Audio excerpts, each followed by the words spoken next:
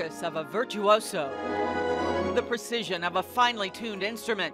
The discipline of Lisa Schaeffer's life has brought her here. Accomplished and very aware of her blessings. November 6, 2013, Lisa was biking west on Winchester Road going to meet her daughter for lunch. She never made it. A tractor trailer uh, hit a woman on a bicycle and her leg is pinned underneath the rear tire. And by the time I got up on my forearms and looked to my right, my right leg was pinned under the bike. The semi driver said he never saw Lisa's bike, while a passerby called her husband. He ran a half a block down the road because he didn't want my husband to hear me screaming. A nurse stopped and held her hand.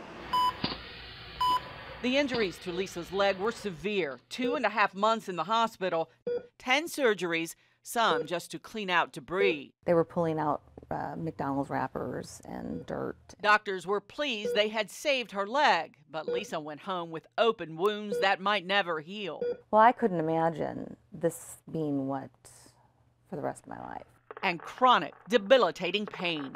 I tell you, there's some there's some ho horrible dark days.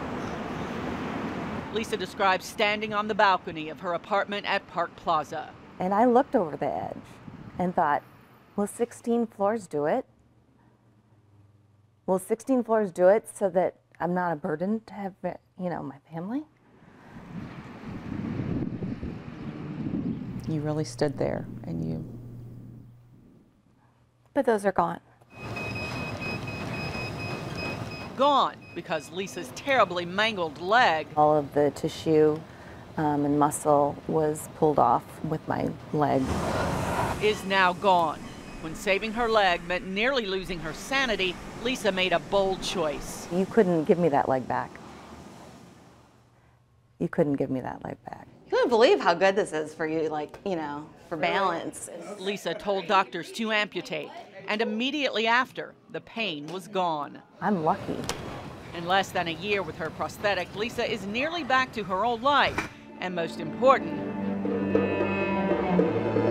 back behind her cello. While the accident took a lot from Lisa, it did not take her music.